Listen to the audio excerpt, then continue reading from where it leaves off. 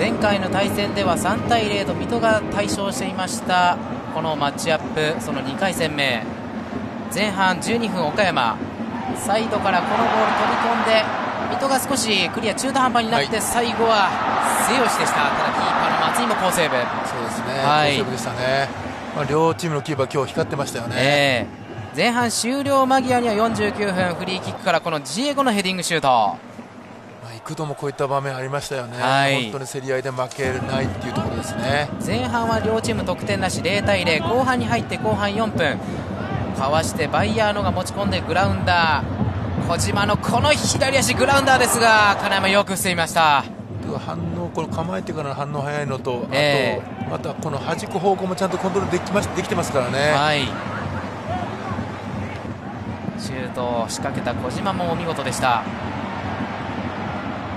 そしてここは松井が出てきた。空いたゴール狙っていきましたが大竹。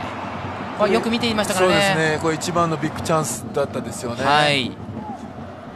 さらにその後今度は水戸です。ここもカウンターバイヤーのがぐいぐいと持ってドリブル。ラストパスフリーの木村。ここもしかし金山。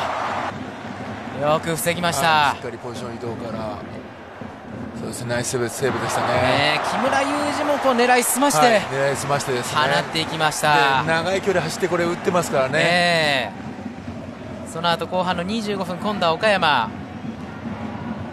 左サイド。流れたボールこれを斉藤見てボレー少しジャストミートしませんでした。最後は関戸です。そして後半の33分トータルで78分手前側田向からのクロスに途中出場のバティスタのヘディング。そうですねこのディフェンスの前に上げたところにですよね、はい、上がってこれを決めれるところがやっぱりすごいですよね。はい。